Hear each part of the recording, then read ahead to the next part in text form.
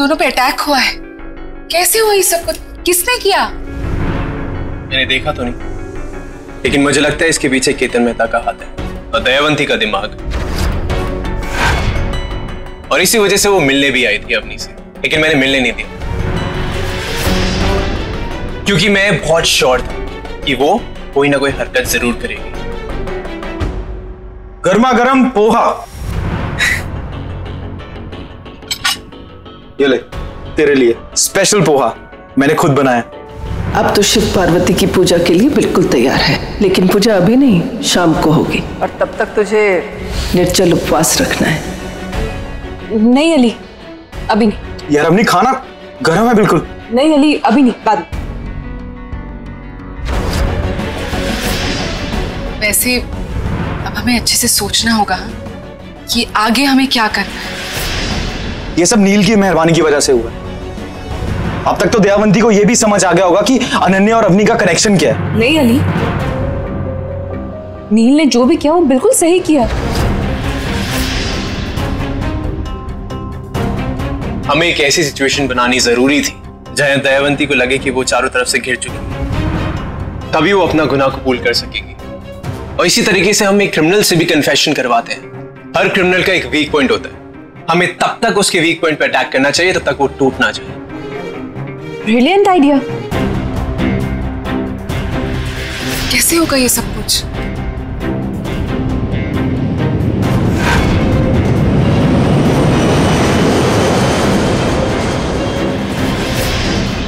Right right? Right right.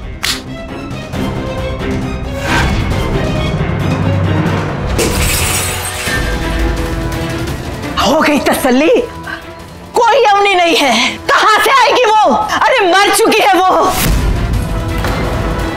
अपने हाथों से मारा था मैंने उसे। अपने हाथों से मारा था मैंने उसे। अपने हाथों से मारा था मैंने उसे। भाई, मुझे लगता है अनन्या ही अपनी है। इसका मतलब कोई और ज़रूर होगी जो असली अनन्या। पहली बार तूने सही बात करी। अब हमें अनन्या के बारे में पता लगाना पड़ेगा वही हमें अपनी के बारे में सच बताएगी। बस एक बार अवनी का सच सामने आ जाए। तब पता चलेगा माँ को कि उसके बच्चे कितने होशियार। नील हम यहाँ क्यों आए हैं? हम यहाँ क्यों आए हैं? वेरी गुड क्वेश्चन क्योंकि मैं अपनी एक ऐसी औरत को घुटने के बल जाके ये फूल देके बड़ी प्यार से थैंक यू बोलना चाहता हूँ। जिससे मैं बेहद प्यार करता हूँ। भैया ये गुलदस्ता कैसे दिया आपने?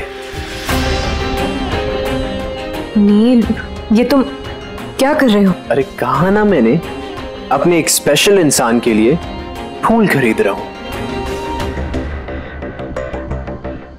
ओह आई कंप्लीटली फॉरगॉट वैसे तुम्हें कौन से कलर का फूल पसंद है?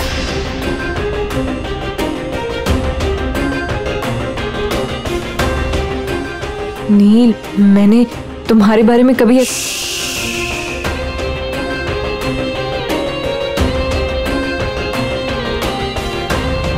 सच तो ये है अपनी।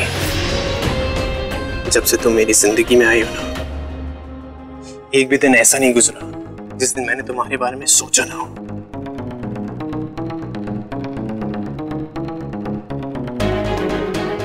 उस दिन जब हमने डांस किया, कल जब तुमने मुझे हक किया तो मुझे ऐसा लगा कि जैसे प्लीज़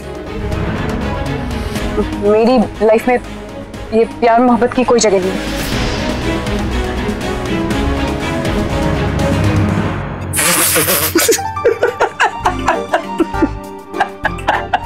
Look at you. क्या हुआ तुम हंस क्यों रहे हो? ओह वाइफी मैं जो फूल ले रहा था ना वो बेबी के लिए ले रहा था उन्हें इम्प्रेस करने के लिए ताकि वो मान जाए। तो मुझे लगा कि भाई तुम्हारे लिए ले रहा- अपनी शक्ल देखो। चेहरे का रंग उतर चुका है बस। तुम्हें तो ना मैं अभी बताती हूँ। अनन्या एक सेकंड अभी बताती हूँ तुम्हें। अनन्या अनन्या। क्या बोल रहे थे तुम? कुछ देखो मेरे साथ मज़ाक कर रहे थे तुम। अनन्या। नील, रुको। अनन्या